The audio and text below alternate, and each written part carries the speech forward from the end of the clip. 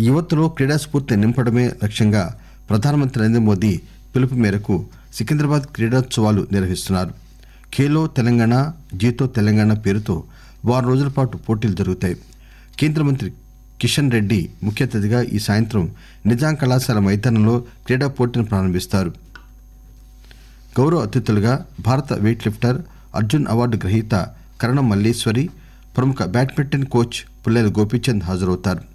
సినీ నటులు సాయి ధరమ్ తేజ్ మంచు మనోజ్ శ్రీలీలలు కూడా పాల్గొంటారు. స్త్రీ పురుషుల విభాగాల్లో పరుగు కబడ్డీ క్రికెట్ ఖోఖో వాలీబాల్ తదితర క్రీడా పోటీలు జరుగుతాయి. మొదట సికింద్రాబాద్ పార్లమెంట్ నియోజకవర్గంలోని ఏడు అసెంబ్లీ స్థానాల్లో పోటీలు నిర్వహించి మొదటి మూడు స్థానాలు నిలిచిన వారిని పార్లమెంటు స్థాయిలో పోటీలకు ఎంపిక చేస్తారు. ఇలా అన్ని నియోజకవర్గాల్లో మొత్తంగా ఐదు వందల డెబ్బై ఎనిమిది జట్లు పాల్గొంటాయి. క్రీడా పోటీల ముగింపు ఉత్సవాలను వచ్చే నెల ఐదవ తేదీన ఎల్బీ మైదానంలో నిర్వహిస్తారు. నిజాం కళాశాల మైదానంలో క్రీడా పోటీల ప్రారంభోత్సవం ఏర్పాట్లను కేంద్ర మంత్రి కిషన్ రెడ్డి కాసేపటి క్రితం పరిశీలించారు.